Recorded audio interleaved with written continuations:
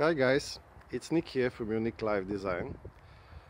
This morning I will try to give you 10 types of Trachycarpus um, palms that you can use in a cold climate. These are the ones that we are having in our garden. So basically it will be a bit of a light-hearted look at them, their characteristics, how can you use them. So yeah, let's get going. The first one is the undisputed king of the cold climate tropical gardens. This is the Trachycarpus fortunei. Ta-da! So you can see our biggest one here. We have two others.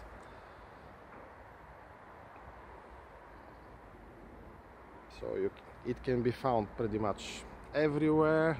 It, extremely hardy, uh, very adaptable. So yeah, there is a reason why it's the most popular one. It's also known as a windmill palm. Different names as well. I've seen, but yeah, this is the Trachycarpus fortunei. I'll just go a little bit closer. Bigger leaves, not that stiff.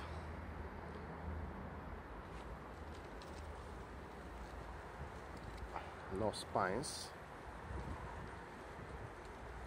which is kind of a relief. Hairy trunk, as most Trachycarpuses. Not all of them though, I guess. Quite hairy. Some people like to actually um, strip them of this hair because they do like the look. I don't really like the look, but I'm toying with the idea when one of the smaller ones grow up to kind of strip it down to see uh, well, it will be looking different. It does look different, so it's worth trying probably. Okay, the next one is its close cousin, the pretender to the throne, according to some, uh, Trachycarpus wagnerianus. Wagner's palm, also known. So it's pretty much the same species, but it's a variant which has smaller and much stiffer leaves which are much more wind resistant. Other than that it's still fast growing like the other one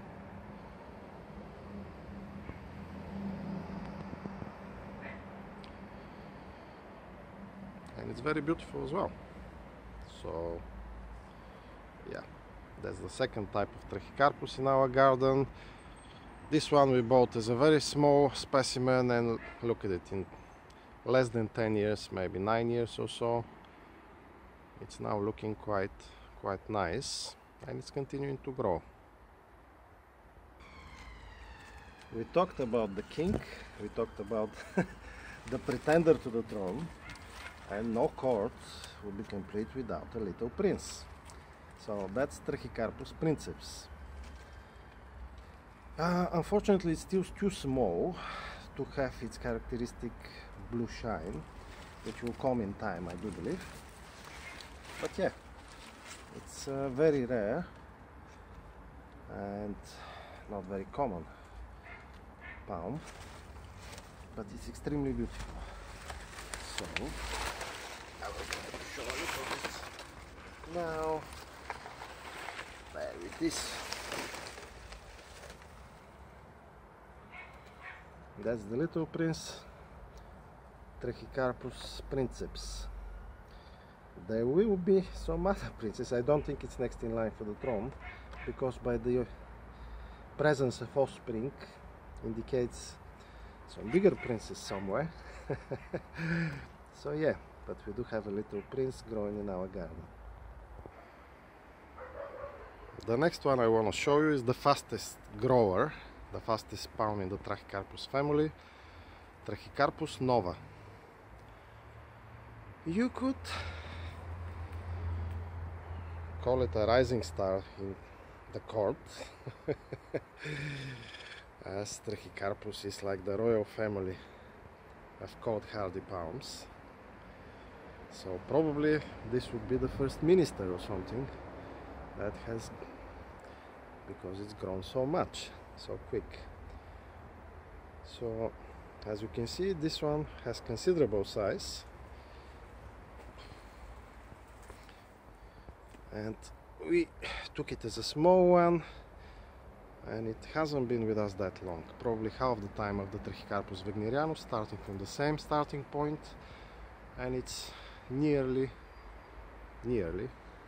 Not much but quite close to the same to the same height as the Trachycarpus wagnerianus so that comes to show you that it is a very fast growing plant for a palm in cold climate. So yeah. One I would definitely recommend to people now here we have Trachycarpus princeps new form which many believe to be a hybrid between Trachycarpus nova and Trachycarpus princeps so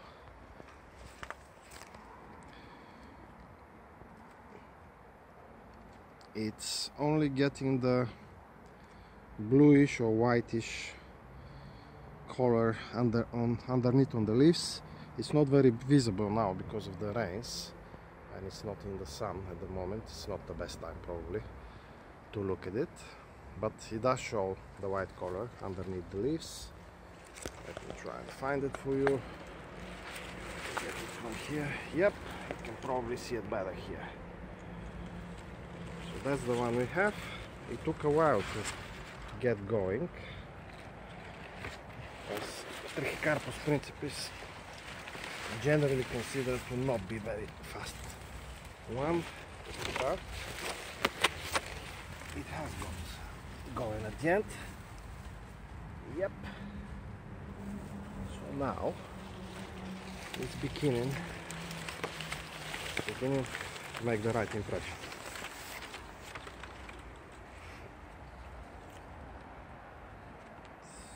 So again another one I do recommend all of them actually because they're all lovely in their own way. But yeah it has proven to be tolerant to quite a bit of shade myself.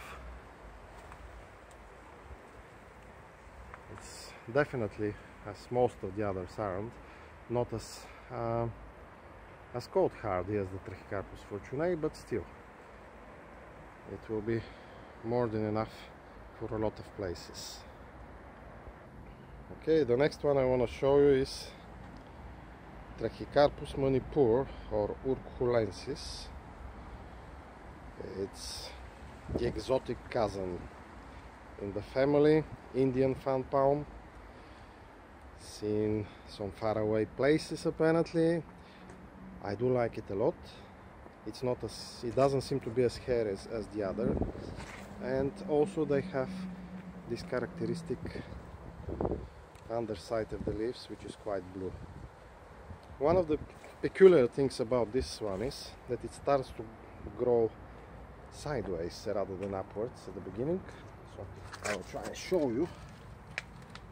If you can see it let me see.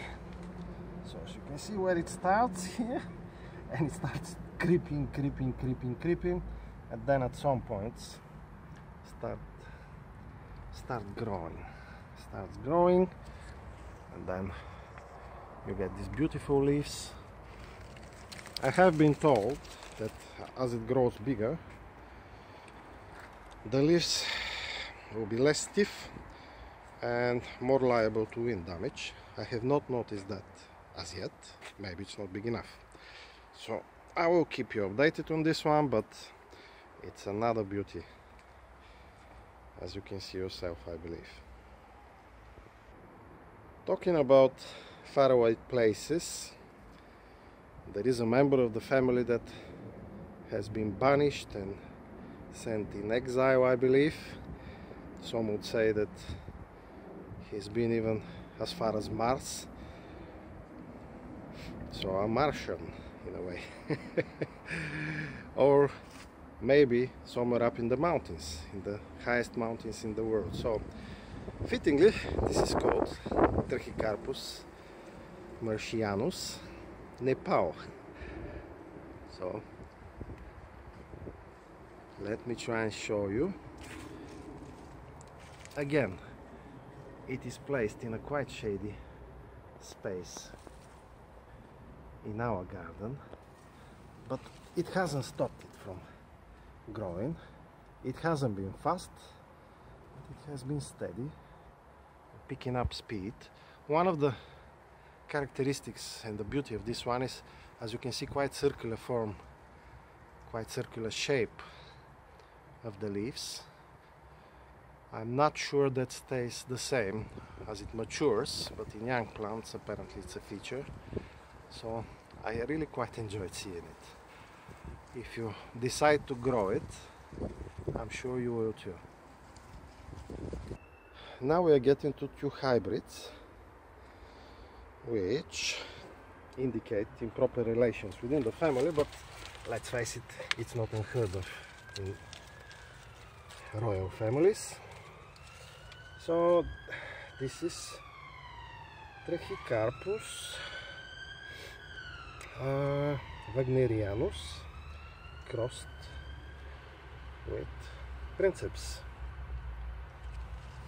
So yeah, they're still small, they're very very rare.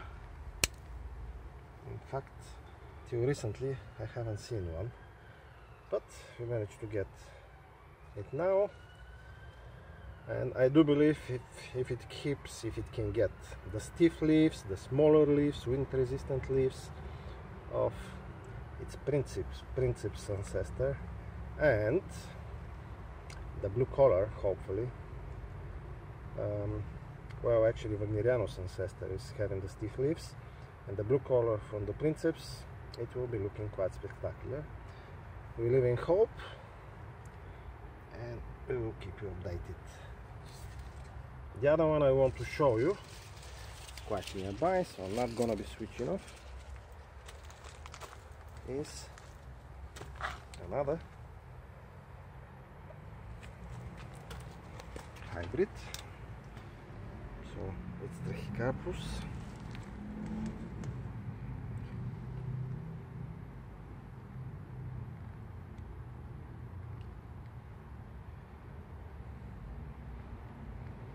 Wagnerianus crossed with Trachycarpus Nanus is believed to be the smallest type of Trachycarpus, almost trunkless. So this is gonna be quite interesting. Again, I believe it will be much smaller pound, so you never know with hybrids. And hopefully with stiff leaves, and it will have quite unique look. So we'll keep watching it, we'll keep taking care of it, and hopefully we'll be rewarded with some real beauty here. Okay. The last type of Trachycarpus we have in our garden is a one that is the real illegitimate offspring, a proper B dot sturt. Uh, it was bought under the name Trachycarpus other side because the quite knowledgeable person who was selling it believed it's a different species to anything that has been described. And it has been growing quite steadily and nicely here. Again quite a bit of shade where it is. It doesn't seem to affect it negatively. Uh, I can see the leaves. Maybe it's because it's still juvenile but the leaves are not split as some others are. So it's looking quite different already I'm beginning to notice a hint of white underside of the leaves. So I'll be keeping an eye on this one too. But I do believe it's gonna be something quite interesting. So I hope you enjoyed this light-hearted take. It's not as informative as it could have been, for sure, but sometimes people don't need too much information, they just need to hear the name, get them, decide if they want it, check a few facts about them, if they're suitable for where they are, and take the plunge and try to grow it. So I will list the names in the description, so no worries if you couldn't understand my thick accent. so no problem about that. Okay guys, speak to you soon.